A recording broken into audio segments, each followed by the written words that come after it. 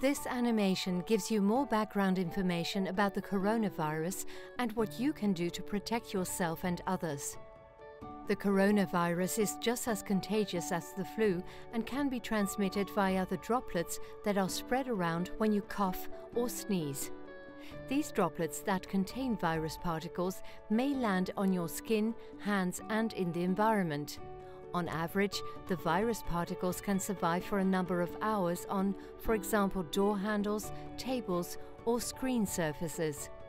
Even people who are infected but not yet sick themselves can spread the virus particles around. When you are infected with the coronavirus, you will usually experience flu-like symptoms like coughing and or fever. 80% of all patients can stay at home until they are better. 20% will have to be treated in a hospital, and circa one third of this group may need respiratory support in the intensive care ward. The coronavirus therefore appears to be a more serious disease than the flu.